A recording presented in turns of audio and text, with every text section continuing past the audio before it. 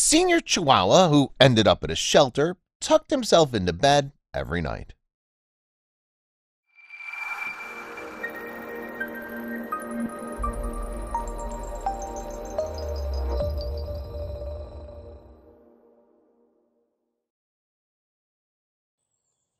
Life is full of surprises, and that's something most of us have experienced firsthand. Sadly, those surprises are not always pleasant, and we often find ourselves in front of obstacles too hard to overcome all by ourselves. Unfortunately, a senior Chihuahua named Scooter faced an unpleasant event when his owner died, and he stayed all alone with no one by his side, so he ended up at a shelter. What Scooter did on his first night at his new place got the attention of the shelter staff, and they couldn't help but take a photo of him laying under a blue blanket.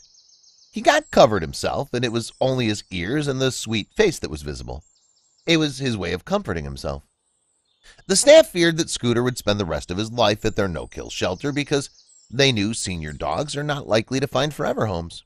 But even if that was the case with Scooter, they had plenty of place and were willing to take care of him. Scooter was 12 years old and had an old hip injury. Jan Nageldinger, shelter manager at the Humane Society of Branch County in Michigan, told the Dodo. However, once the cute photo of Scooter from under the blanket was shared online, the shelter received numerous phone calls from people all over the country. One of them was a woman named Jessica Lynn Howard, who had already adopted two chihuahuas from the shelter before. I saw Jan's Facebook post, along with the rest of the world, Howard told the Dodo. My husband Tim and I were lying in bed, and it brought me to tears. Without hesitation, I showed Tim, and I said, I have to go get him. Her husband fell in love with the cute doggy, too, and the first thing in the morning, Howard headed to the shelter to get Scooter home. When we arrived home, Scooter met his new pack and family immediately, Howard said. It was amazing. Everyone greeted him as if he was a long-lost friend of theirs. They truly acted as if he'd always been there. Their farm is just the place for dogs to enjoy their days and have as much space and fun as they want. We have Jax, formerly known as Nemo, a Chihuahua we adopted from Branch County, Hank, formerly known as Little Henry, a Chihuahua heeler mix we also adopted from Branch County, Babyface, another Chihuahua that belonged to my husband before we were married, and two heelers, Spur and Waylon, Howard said. Scooter turned into one of the sweetest dogs ever, and his family was glad they made the right decision to offer him their home. He's super funny and acts goofy. He plays around like he's a two-year-old sometimes, Howard said. But he's also all about taking naps, with his blankie, of course. He absolutely loves my husband, Tim, and our son, Braden. Our daughter, Delaney, has a soft spot for him, too.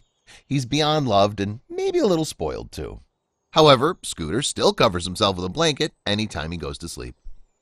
When it's bedtime, he still tucks himself in, Howard said. I've tried to tuck him in, but he'd rather do it himself.